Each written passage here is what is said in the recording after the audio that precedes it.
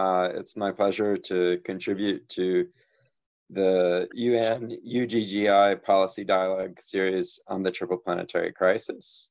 Um, I hope you'll take away from my presentation a clear understanding of what the right to healthy environment is and why it is essential to effective action to protect people on the planet from the triple planetary crisis of climate change, pollution, and biodiversity loss. If you bear with me a moment, I'm just gonna um, share my screen.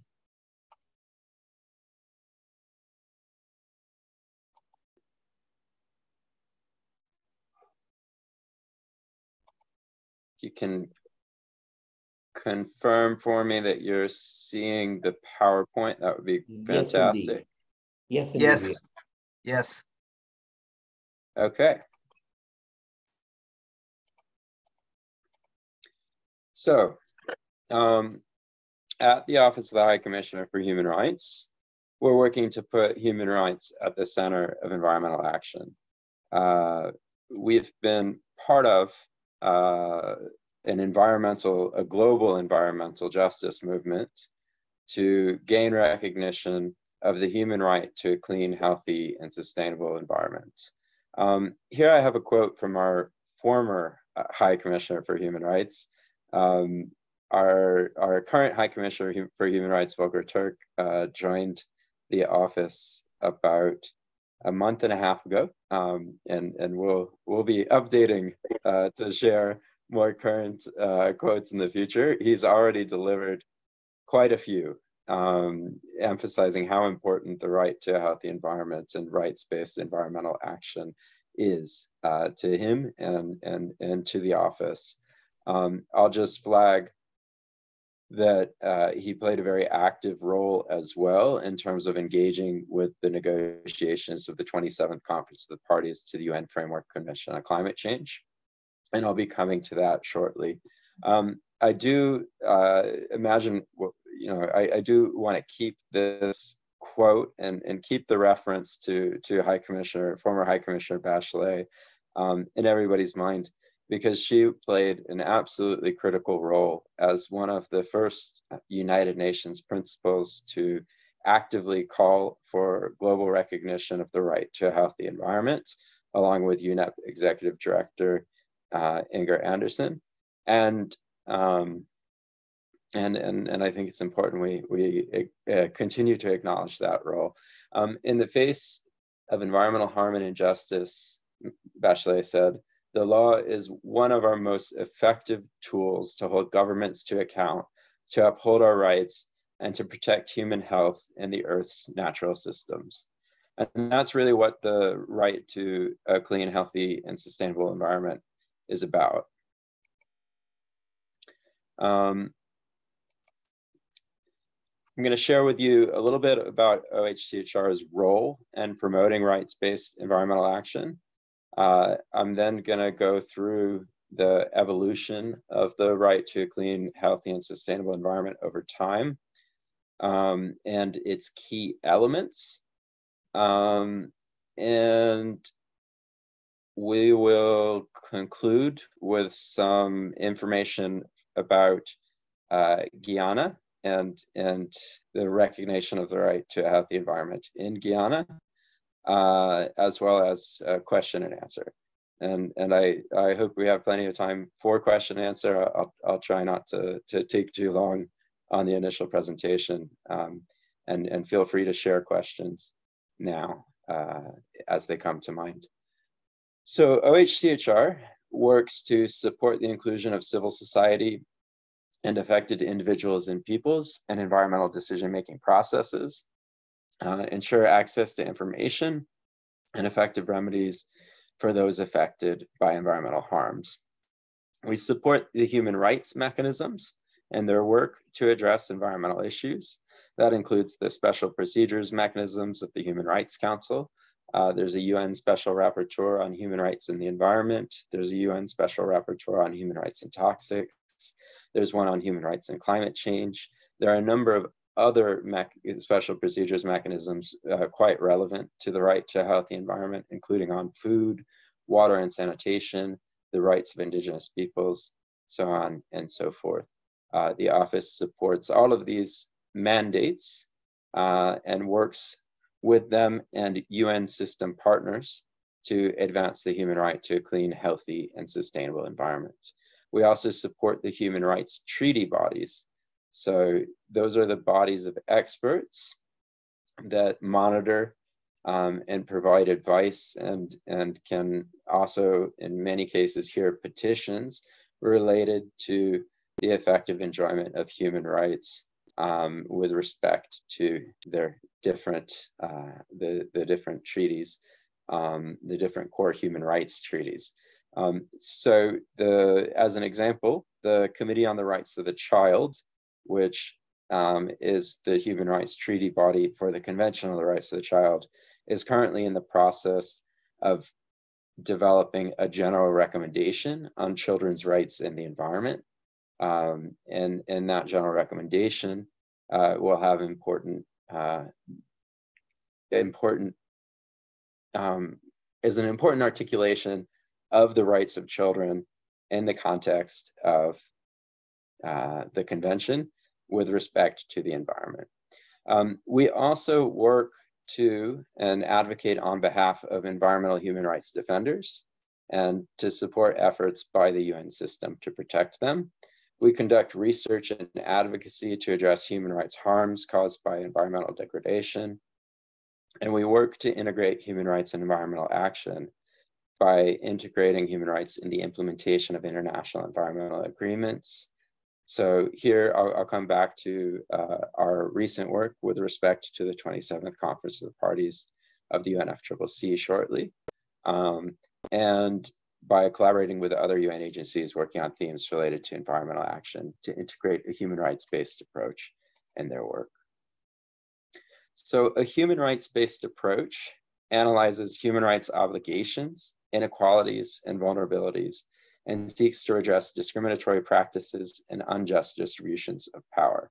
It anchors plans, policies, and programs in a system of rights and corresponding obligations established by international law. Accountability, transparency, and meaningful and informed participation can strengthen environmental policies and programs, making them more ambitious, effective, inclusive, responsive, and collaborative while ensuring that they leave no one behind. So that's why we uh, advocate for a human rights-based approach. Uh, and it's why the international community has agreed to a human rights-based approach. And, and states everywhere, and in fact, all states have ratified at least one of the major core human rights treaties. Most states have ratified uh, many um, and, and some all of the, the core human rights treaties. Um, the specific elements of the rights-based approach include identifying rights holders and their entitlement. Rights holders is uh, a way of saying people, essentially. Um, people are rights holders, and um, we work to ensure that people have their rights upheld, um, respected, protected, and fulfilled. It involves identifying duty bearers and clarifying their obligation. Um, duty bearers are states, uh, first and foremost. States have an obligation to respect, protect, and fulfill human rights, but they also include non-state actors as well. So businesses have a responsibility to respect human rights. Um, the human rights duties of businesses are articulated by the United Nations guiding principles on business and human rights and it works to integrate human rights in environmental laws, policies, and programs. So mainstreaming human rights in environmental laws can help ensure policy coherence and rights-based action in the environmental sphere. So the right to a healthy environment is the basis of uh, the work of my team at OHCHR. Uh, it is increasingly recognized. Um, I mentioned uh, well, so more than 150 countries recognize the right through their national, regional, uh, through national or regional legislation. Um, in the case of Guyana, uh, Guyana uh, both recognizes the right to a healthy environment through its constitution, but also as a uh, signatory and party to the Escazú Agreement. Um, the Human Rights Council and its resolution 48 13 recognized the human right to a healthy environment in October of last year. The United Nations General Assembly in its resolution 76 300 recognized the human right to a healthy environment in July of this year.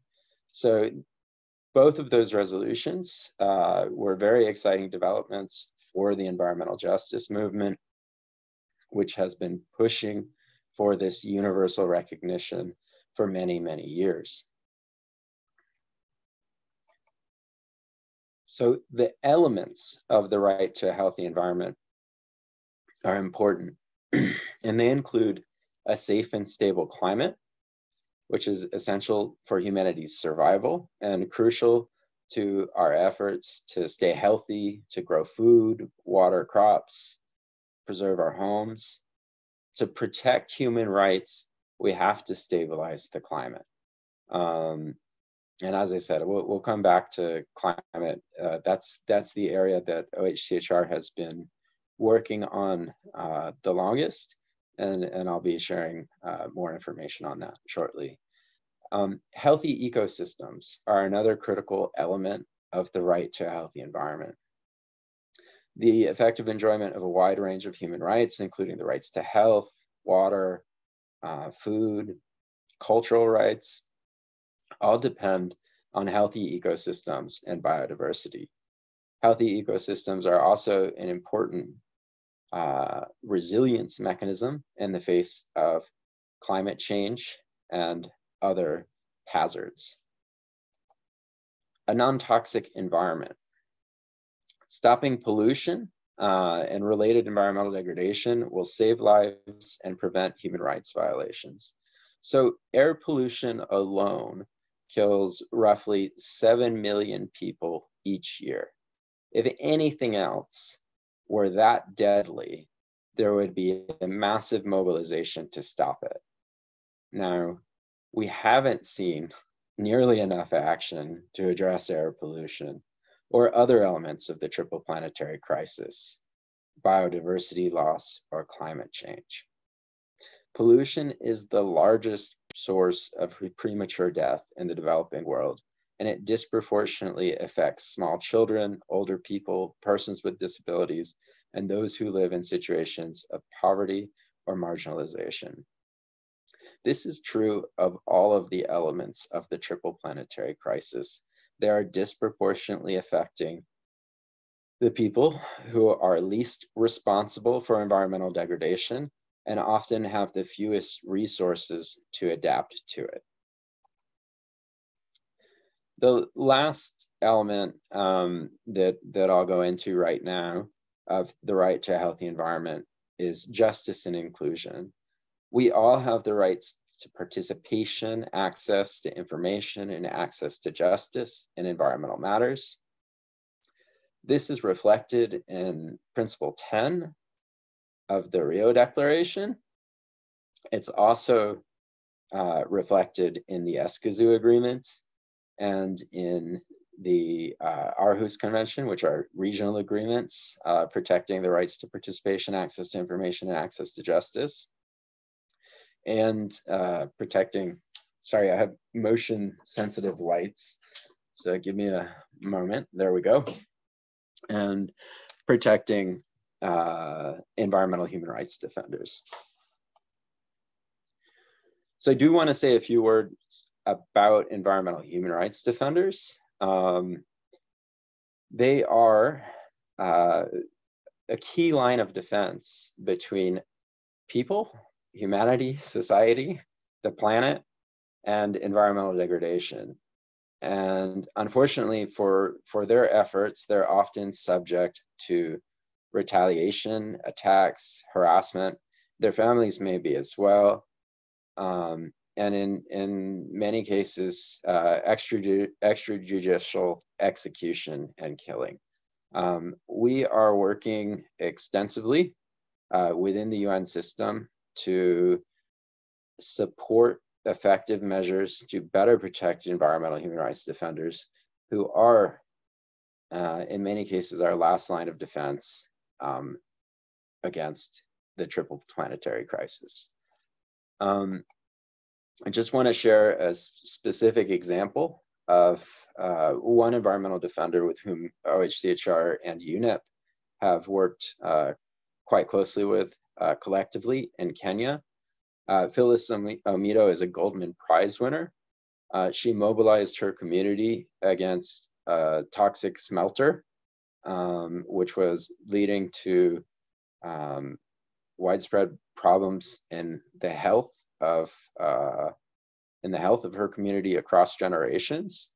Um, Phyllis and her community with with support from the UN Human Rights Office and, and others um, effectively uh, litigated for closure and access to remedy um, related to the pollution caused by uh, by toxic lead smelting in in Owino Uhuru. Um, this is one of many examples. She faced death threats. She faced harassment. Um, she's been incredibly successful, brave, and courageous and in uh, persevering in the face of those threats uh, and, and securing um, positive results and outcomes for her community. Uh, there are many stories of environmental human rights defenders that unfortunately do not end so well. And, and as much as we can talk about this story um, and, and appreciate that that in some small way justice was served by the results, there's still a lot of work to do to implement uh, the the judicial um, decision with respect to the case of the Owino Uhuru community, and there's there's no remedying the kinds of harm that have been experienced by the people of that community uh, because of toxic lead pollution. Um, so really when we're talking about these issues, we we there are things we can do, and and there are there are some things that that are are essentially um, irredeemable. Um, and and I think it's important as well that that we be aware of the fact that the damage humanity is doing um, to the environment uh, is is in some cases uh, not fixable, and we have to come to terms with that as well and and figure out the best approach to try to to remedy uh, the harms that that have been inflicted on people. Um, so I said I'd say a few words about the right to a healthy environment in Guyana. Um, as I already mentioned, it's in the Constitution. Um, every citizen has a duty to participate in activities designed to improve the environment and protect the health of the nation. The well-being of the nation depends on preserving clean air, fertile soils, pure water, and the rich diversity of plants, animals, and ecosystems. And everyone has the right to an environment that is not harmful to his her or her health or well-being. Uh, Guyana has also ratified the Escazú Agreement, which protects the rights to participation, access to justice, and access to information in environmental matters. Um, Guyana is uh, Guyana, sorry, the, sorry, the Universal Periodic Review of the Human Rights Council is, is one of the ways that the, the human rights record of all countries are considered and addressed through a periodic peer review process. Um, so here I'm just sharing some of the recommendations that came out of the last cycle of the Universal Periodic Review of the Human Rights Council for Guyana, uh, you can see both the recommendation and the government that contributed that recommendation through the peer review process.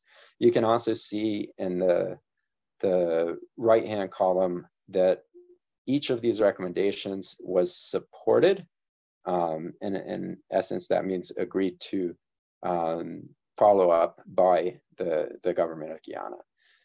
So one, was to continue to, to ensure that its climate adaptation and disaster risk reduction measures pay due consideration to vulnerable uh, people, including women, persons with disabilities, and indigenous peoples.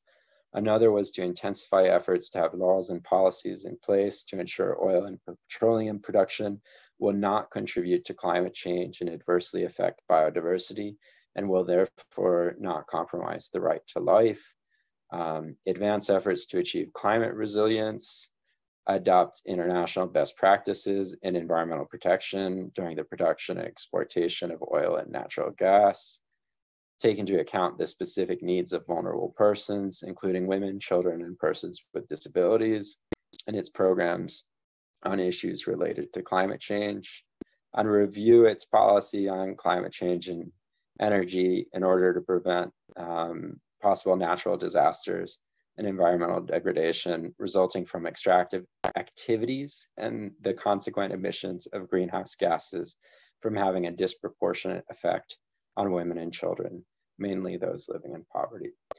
So these are some examples of how other states have interpreted uh, the human rights-based approach in its application to the environmental context of Guyana. Um, and I think they're, they're a pretty good uh, representative uh, sampling of the kinds of policies and recommendations uh, that should be considered um, in that context. Um, so the, the last thing I said I would I would uh, cover a bit more extensively, um, and that's because it's the area that the office has been working on the longest, um, and and also where we've had the most recent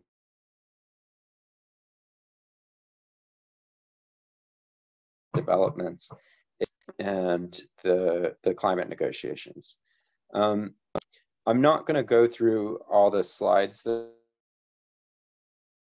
I have here, um, and I'll be happy to share the, the PowerPoint presentation um, for, for your information, uh, should that be helpful. Because basically what I have at the, the end of this presentation is a number of slides with reference materials and information materials where you can find additional information about the work of the Human Rights Council on climate change, about the human rights-based approach to environmental action in different contexts, and about um, human rights and climate change more generally. Um, I'm going to skip uh, as I said, presenting those and, and rather share a few insights from the latest climate negotiations, uh, which took place, um, well, they ended on the, what was it, the 19th of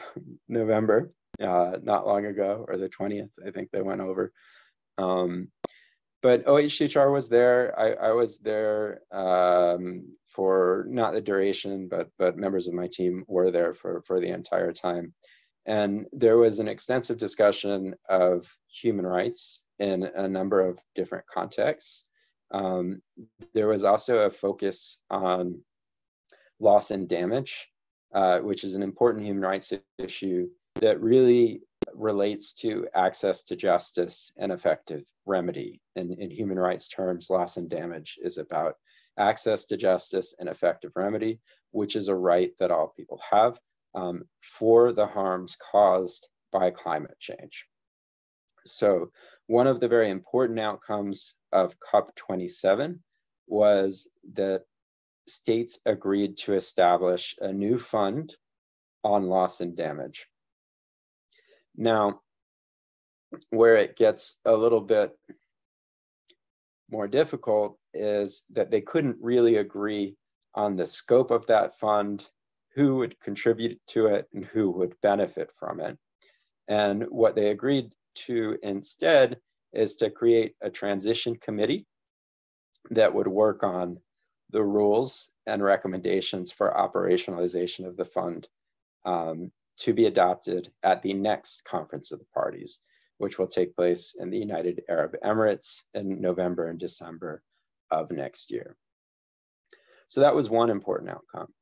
Um, another important outcome from a human rights perspective is that the parties included an explicit reference to the human right to a clean, healthy, and sustainable environment, emphasizing that states should respect, promote, and consider the right to a healthy environment when taking climate action in the cover decision of, of the, the Conference of the Parties. Um, one of the more disappointing outcomes of the 27th Conference of the Parties to UNFCCC was the failure of it to agree on language about ambition that would step up ambition, phase out fossil fuels, um, and, and help keep 1.5 uh, in reach. So 1.5 degrees Celsius is the, the um, most ambitious target contained in the Paris Agreement. It is not um, a human rights compliant target, and, and I think that's important to note. Um, at 1.1 degrees or whatever we're at right now, somewhere between 1.1 and 1.2, the human rights impacts of climate change are already catastrophic. Tens of millions of people are being displaced each year. It's affecting people's access to food and water on a massive scale. It's contributing to the transmission of vector-borne diseases, the impacts of climate change right now on the effective enjoyment of human rights are far too high.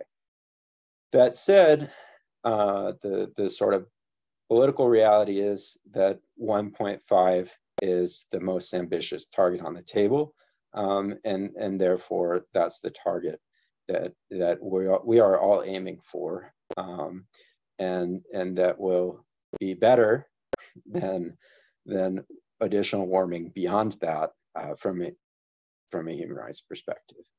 Um, so there, there was not progress made on ambition. Um, and that poses a, a, very substantial threat to the effective enjoyment of human rights now uh, and in the future. Um, the international community needs to drastically step up action in order to respect, uh, protect, and fulfill human rights um, and, and, protect people from climate change. Um, I think that I'll stop there because I, I want to save time for question and answer. Uh, thank you very much for, for your attention.